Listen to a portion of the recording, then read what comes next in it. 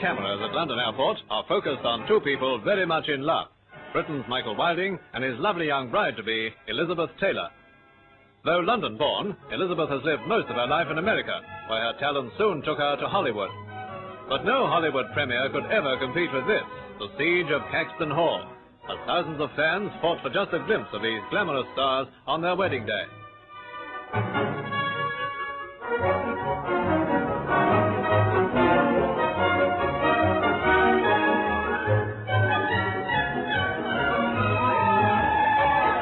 In the milling scrum, press photographers and newsreel men had quite a job to keep their cameras intact.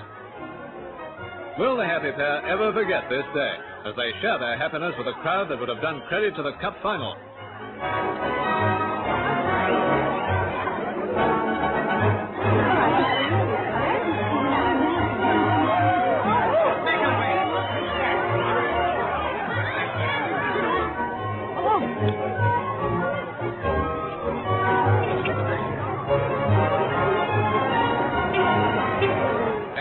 That was all over, the battle for their car began.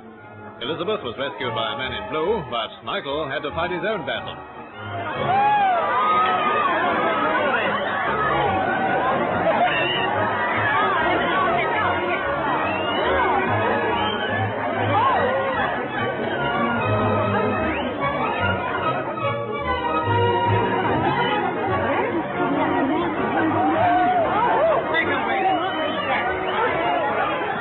So here's wishing long life and future happiness for two stars who have indeed found real life romance.